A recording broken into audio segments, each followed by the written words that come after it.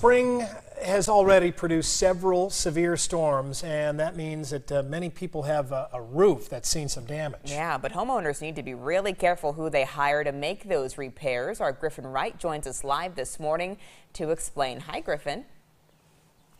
Hi, Jody and Andy. So those contractors that are less than reputable, they're called storm chasers because they show up right after a storm knocking on your door saying that your roof needs repairs when sometimes it may not need repairs. And worse yet, after they do their work, they may leave it worse off than before and then they just disappear. So here are some things that you can look out for to avoid getting in trouble with a shady contractor.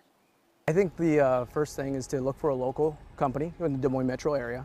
Um, along with that is make sure that they've been in business for, and my recommendation would be 10 plus years. Um, and then just have them come out, interact with them, see you know what kind of you know service and quality they can provide for you. So sticking with a local roofing company that has been working in the community for a while and then having them come out to do an inspection before signing any contract is good practice for avoiding sketchy roof jobs. Gerardo Perez is the owner of Andrews Roofing Company in Des Moines and he and his father have been repairing roofs around the metro for over 25 years. Perez says that storm chaser contractors have been around for a long time. Most storm chaser contractors are from companies that are out of state, which Perez says causes issues down the line for customers.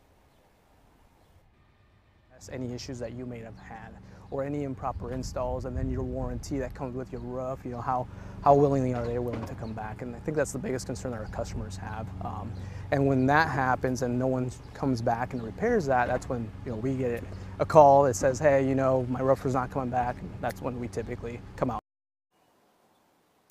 So the really difficult thing here is these people, they come to your door at your time of need right after a severe store, storm and then they try and upsell you. So it's really tempting to just go for a quick fix there, but it's important to do your background checks and to not really sign anything until they do an inspection, until you hear back from your insurance company as well. All good information, uh, Griffin. How, how's your parents' roof looking? Oh, hi. Oh, it's Andy.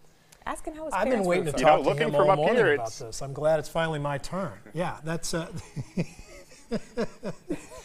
this is a good story, Griffin. Uh, I had this exact thing going uh, going on with one of my neighbors. Uh, the storm came through last year. Uh, the insurance had not even gotten to his house yet. There was a roofing company that showed up. He got the all new roof, and it was full of holes. He's had to have the entire thing replaced, and that's a, a giant pain. Thank you, Griffin.